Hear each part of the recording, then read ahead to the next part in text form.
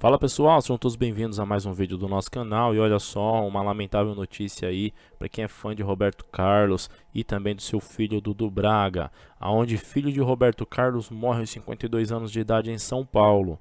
O produtor musical estava em tratamento contra um câncer no peritônio, membrana que envolve a parede abdominal. Olha só, o produtor musical Roberto Carlos Braga II, conhecido como Dudu Braga, filho de Roberto Carlos, morreu nessa quarta-feira, aos 52 anos, no Hospital Albert Einstein, na zona sul de São Paulo.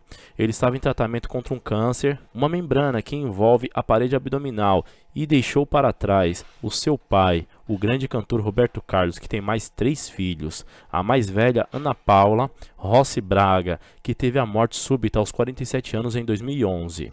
Olha só, galerinha, mais uma notícia de última hora para vocês. Não se esqueça de se inscrever e ativar as notificações. Sou o Washington Lisboa, espero vocês no próximo vídeo. Tchau, tchau, pessoal.